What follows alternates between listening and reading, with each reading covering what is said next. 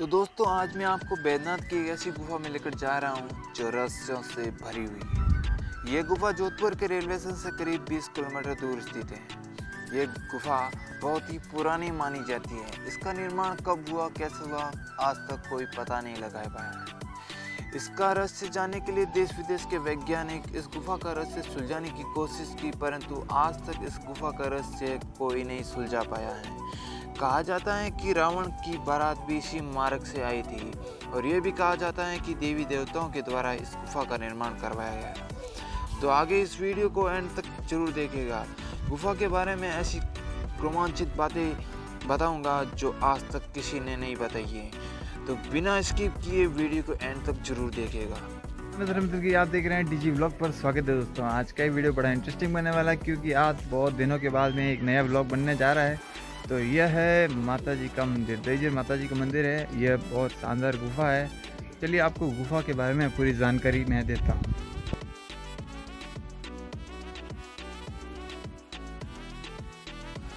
तो दोस्तों, यहाँ पर एक शानदार सा मंदिर भी बना हुआ है, जो बहुत ही शानदार आकर्षित माहौल बनाता है।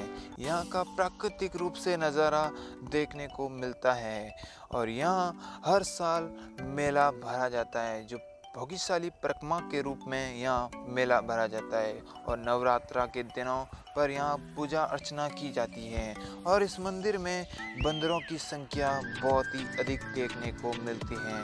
यहाँ पर जोधपुर वासी बंदरों के लिए खाना, भोजन लेके आते हैं और बंदरों को खिलाने पहुँच जाते हैं।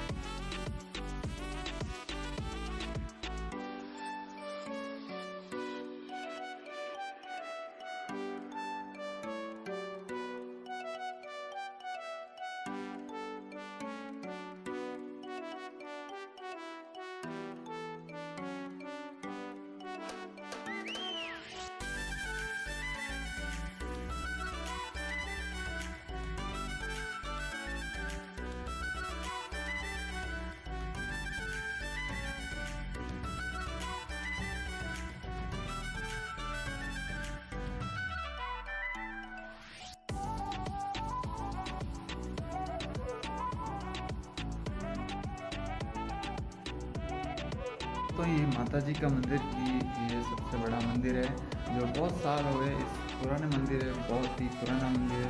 तो आप, यहाँ देख सकते हो कि ये पंडित जी सो रहे हैं लगभग 105 साल हो गए 105 साल उनकी एज है तो ये सो रहे हैं। यह है गुफा का वो फ़र्स्ट गेट जहाँ से एंटर हुआ जाता है और गुफा के दो गेट हैं जो वीडियो के बीच में हमें देखने को मिलेगा। गुफा में अनजान आदमी नहीं आ सकता। तो हमारे साथ में हैं हमारे मित्र रविंदर भाई, जो इसी गाँव के रहने वाले हैं और गुफा के 500 मीटर के एरिए को हर रास्ते को जानते हैं। तो गुफा के अंदर चलते ही हमें भगवान गणेश जी की मूर्ति मिल गुफा के अंदर प्रवेश करते ही हमें हर प्रकार के रास्ते नज़र आए। कौन सा रास्ता कहाँ जाता है आज तक कोई पता नहीं लगा पाया है। गुफा के अंदर हर प्रकार के जानवर भी मिल सकते हैं, जैसे हमें चमगादड़ देखने को मिली है। वीडियो के बीच में आपको ऐसी भयानक चमगादड़ का समूह देखने को मिलेगा, जो बहुत ही भयानक हैं। हमारे मित्र रविंद्र भाई बताते हैं कि गुफा के 500 मीटर के एरिया में हमें तीन मंदिर भी देखने को मिलेंगे। सबसे पहले गजानन जी का और दूसरा भगवान शिव और तीसरा माता जी का मंदिर।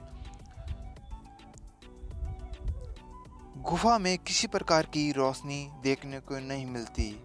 हमें टॉर्च या मोबाइल की लाइट लगा के ही गुफा का रास्ता पता करना है। गुफा में हर गेट बहुत ही भयानक लगता है। जैसे अंधेरों से घिरा हुआ रास्ता। और इसी रास्ते से कहा जाता है कि रावण अपनी बारात लेके भी आए थे, जो मंडोत्री से विवाह करने के लिए मंडोर पहुँचे थे। और ये भी कहा जाता है कि यह गुफा देवी देवताओं के द्वारा बनाई गई। हमारा मानना है कि जब राजा महाराजा युद्ध के समय छुप छुप के निकलने की जगह इसी गुफा का इस्तेमाल करते थे। और यह भी कहा जाता है कि यह गुफा पाताल लोक तक जाती हैं। अगर कोई व्यक्ति इस गुफा के अंदर चला जाता है तो वो लौटकर वापस नहीं आ सकता है, क्योंकि गुफा में किसी प्रकार की रोशनी आपको देखने को नहीं मिलेगी। हमें रास्तों का अभी फ़िलहाल मालूम नहीं चला है कौन सा रास्ता कहाँ जाता है, क्योंकि हम खुद रास्तों का अनुमान नहीं लगा पा रहे हैं। तो हमारे मित्र हमें ले आए हैं भगवान शिव के मंदिर। तो हम भगवान शिव के मंदिर के दर्शन करने के बाद हम गुफा का दूसरा रास्ता भी चलने को तैयार हो गए हैं। तो गुफा का दूसरा रास्ता भी हमने ढूंढ लिया है। तो गुफा के अंदर जाते ही हमें चट्टानें बहुत ही कमज़ोर देखने को मिलती है।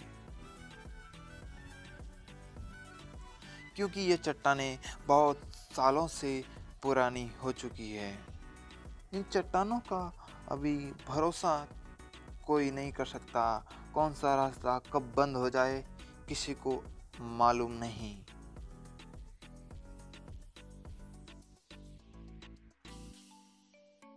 इधर भाई हमें ले जा रहे हैं माता जी की गुफा की तरफ़ और वहाँ पर एक मंदिर बना है माता का छोटा सा। तो वहाँ पर चलते हैं। तो गुफा में तीसरे मंदिर की तरफ़ हम पहुँच चुके हैं, जहाँ पर एक छोटी सी घंटी भी लगी हुई है, जिसकी आवाज़ पूरी गुफा में बजती है। यह मंदिर का सबसे बड़ा हॉल है।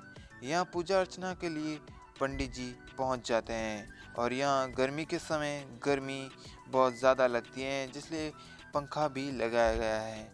यहाँ लाइट की व्यवस्था सिर्फ़ 500 मीटर के एरिया में ही की गई है। माता जी के दर्शन के बाद हम गुफा के अगले चरण में पहुँच जाते हैं। तो हमारे मित्र रविंदर भाई बताते हैं कि यहाँ पानी बहुत ज़्यादा संख्या में आता है। पानी कहाँ से आता है, किसी को मालूम नहीं। यहाँ पानी की झरी आप देख सकते हो और बता रहे हैं कि यह मंदिर डूब जाता है पानी से। आगे हमें पानी का छोटा सा तालाब भी देखने को मिलेगा, जो रविंद्र भाई बता रहे हैं कि ये आगे गुफा में हल्का सा पानी देखने को मिला है। आगे हम अंदर नहीं जा सकते, क्योंकि पानी कहाँ सक, कहाँ तक होता है और कहाँ नहीं, किसी को मालूम नहीं।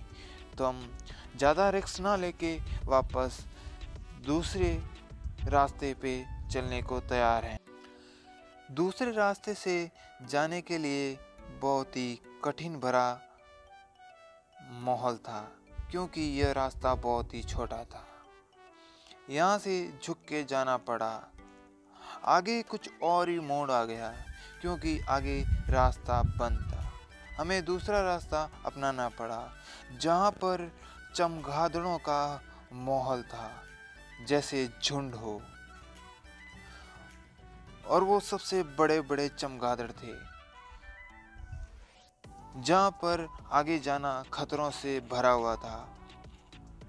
आगे जाने का कोई रास्ता नज़र नहीं आ रहा था, क्योंकि चमगादड़ों के डर से हम आगे नहीं जा पा रहे थे। चमगादड़ इतने भयंकर थे,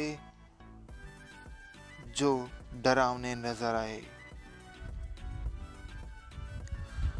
ये चमगादड़ किसी पे हमला कर ले तो वो इंसान बच नहीं सकता।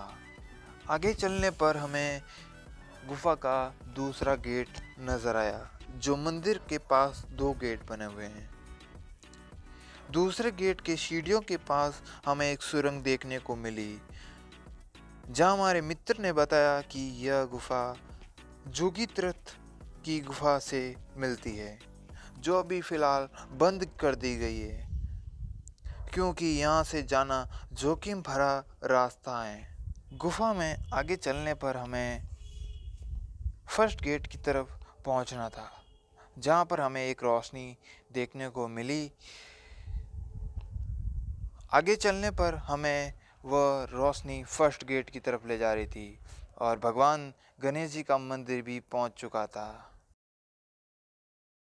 तो हम पहुँच चुके हैं फ़र्स्ट गेट की तरफ़। दोस्तों, आज का ये वीडियो आपको कैसा लगा?